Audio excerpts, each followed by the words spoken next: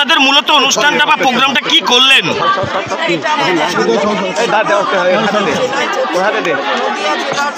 High ঢাকে গেল। আচ্ছা এই যে আপনাদের আমফানের ওপরে যে ক্যাক যে ইয়ে করছে তদন্ত করছে সেটাকে আপনারা বাধা দিচ্ছেন কেন? কে বাধা দিয়েছে? কোনো তদন্তের কেউ বাধা দেয়নি। এটা এই কথাটার কোনো মানে মূল্যহীন কথা। কেউ কোনো তদন্তে কোনো কোথাও বাধা দেয়নি যার তদন্ত করবার এখতিয়ার আছে সে তদন্ত করবে। আচ্ছা বলছি, নদিয়া জেলায় শোনা যাচ্ছে যে শুভেন্দু অধিকারী আসবেন এবং সেখানে একটা বিজেপির পক্ষ থেকে বারবার জানানো হচ্ছে দল বদল হতে পারে জানি না, কারণ এটা বায়ো কিছু করলে তো আমি। এটা একটা ডেমোক্রেটিক স্টেট যে যেখানে ইচ্ছে যেতে পারে, যে কোনো আচ্ছা স্বাস্থ্যসাথী কার্ড নিয়ে বিভিন্ন জায়গায় অভিযোগ জানা যাচ্ছে যে সেখানে লাইন দেওয়া হচ্ছে না ঠিকঠাক তাদের সাথে ব্যবহার বা- বাজে করা হচ্ছে।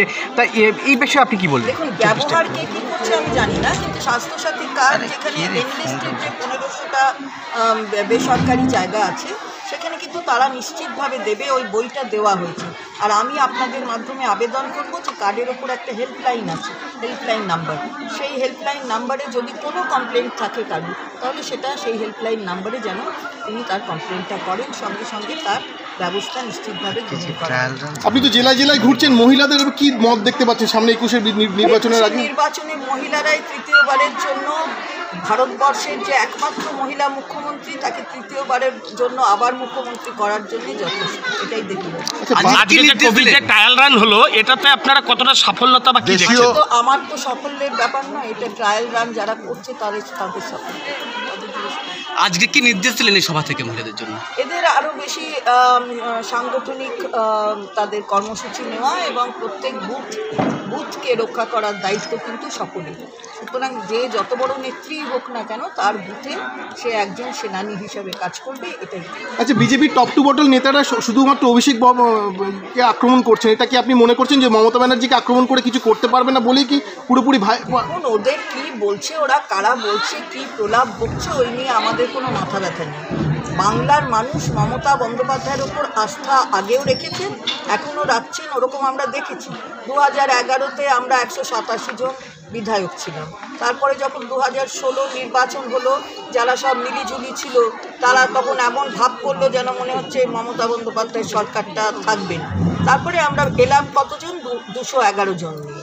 আবার দু হাজার একুশে অন্য কোনো কেউ ভাবছে কারণ আবার কিছু একটা করবার কথা ভাবছে যে কি যেন একটা হয়ে যাবে এমন ভাব।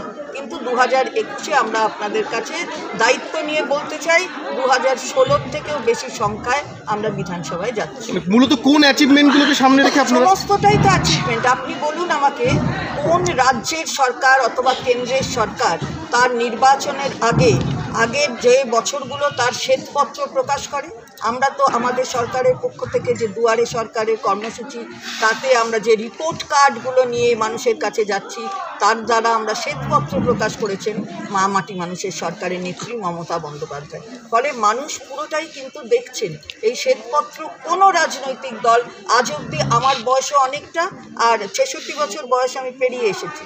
আমি কিন্তু দীর্ঘদিন রাজনীতি করছি। কোন অনেক নির্বাচনে ভোট দিয়েছি অনেক নির্বাচন অনেক জায়গায় দেখেছি। কিন্তু কোথাও দেখিনি যে নির্বাচনের আগে শ্বেতপত্র প্রকাশ করে।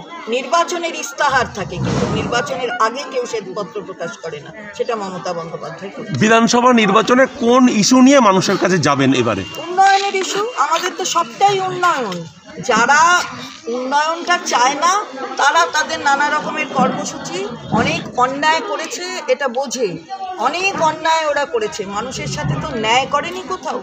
খালিই তো অন্যায়। এই বদাউয়ের ঘটনায় দেখুন না। তাদের তো তার কোনো উত্তর নেই। না উত্তর দিয়ে আজে বাজে যত রকমের অনুন্নয়নের কথা সেগুলো বলছে। আমার মনে হয় যে মানুষ তাদের উপযুক্ত জবাব দেবার জন্য তৈরি হয়ে আছে এবং ওরা বুঝতে পারবে সেটা আগামী নির্বাচন। বিজেপিতে সবাই চলে যাচ্ছে কেন? কে কোথায় চল কে গেছে বলুন তো? কে? আপনারা তো তাদের কোথায় ব্লক সভাপতি কেউ কাউকে চিনতো না। কোথাকার শহরের সভাপতি কেউ কাউকে চিনতো না। আপনারা তাদের বলে বলছেন চলে যাচ্ছে। তো চলে যাচ্ছে কারণ এটা ডেমোক্রেটিক স্টেট যদি কারোর অন্য দল করতে ইচ্ছে হয় যাবে।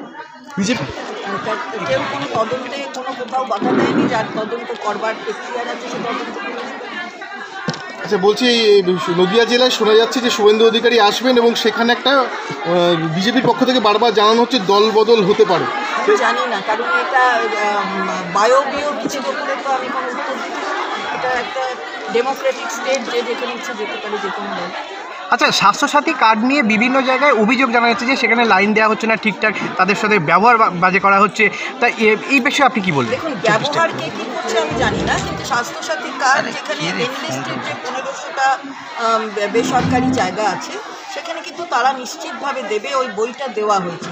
আর আমি আপনাদের মাধ্যমে আবেদন করব যে কার্ডের ওপর একটা হেল্পলাইন আছে হেল্পলাইন নাম্বার সেই হেল্পলাইন নাম্বারে যদি কোনো কমপ্লেন্ট থাকে কারণ তাহলে সেটা সেই হেল্পলাইন নাম্বারে যেন তিনি তার কমপ্লেনটা করেন সঙ্গে সঙ্গে তার ব্যবস্থা নিশ্চিতভাবে আপনি তো জেলায় জেলায় ঘুরছেন মহিলাদের কি মত দেখতে পাচ্ছেন? সামনে একুশের নির্বাচনের আগে? নির্বাচনে মহিলারাই তৃতীয়বারের জন্য ভারতবর্ষের যে একমাত্র মহিলা মুখ্যমন্ত্রী তাকে তৃতীয়বারের জন্য আবার মুখ্যমন্ত্রী করার জন্য যথেষ্ট। এটাই দেখি আজকে আজকে যে কোভিড যে ট্রায়াল রান হলো এটাতে আপনারা কতটা সফলতা বা কি দেখছেন? তো আমার তো সাফল্যের ব্যাপার নয় এটা ট্রায়াল রান যারা করছে তাদের তাদের সাফল্য। আজকে কি নির্দেশ দিলেন এই সভা থেকে মহিলাদের জন্য?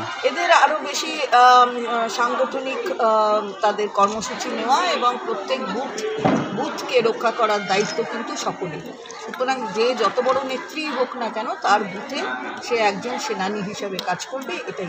আচ্ছা বিজেপির টপ টু বটল নেতারা শুধুমাত্র অভিষেক কে আক্রমণ করছেন এটা কি আপনি মনে করছেন যে মমতা ব্যানার্জিকে আক্রমণ করে কিছু করতে পারবে না বলেই কি পুরোপুরি ভাই এখন ওদের কি বলছে ওরা কারা বলছে কি প্রলাপ বকছে ওই নিয়ে আমাদের কোনো মাথা ব্যথা নেই। বাংলার মানুষ মমতা বন্দ্যোপাধ্যায়ের ওপর আস্থা আগেও রেখেছেন, এখনও রাখছেন, ওরকম আমরা দেখেছি।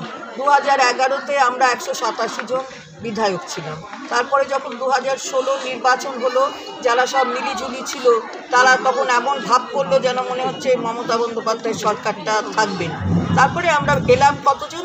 দুশো এগারো জন নিয়ে। আবার দু হাজার একুশে অন্য কোনো কেউ ভাবছে কারণ আবার কিছু একটা করবার কথা ভাবছে যে কি যেন একটা হয়ে যাবে এমন ভাব।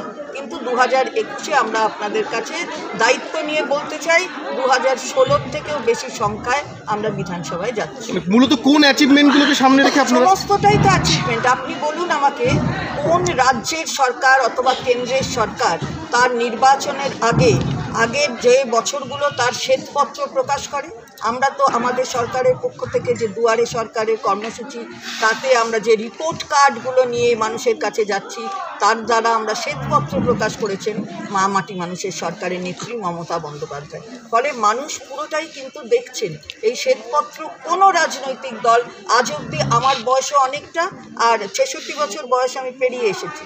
আমি কিন্তু দীর্ঘদিন রাজনীতি করছি। কোন অনেক নির্বাচনে ভোট দিয়েছি অনেক নির্বাচন অনেক জায়গায় দেখেছি।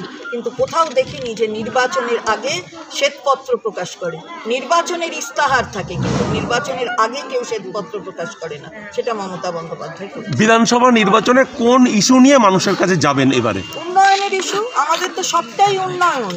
যারা উন্নয়নটা চায় না তারা তাদের নানা রকমের কর্মসূচি অনেক অন্যায় করেছে এটা বোঝে।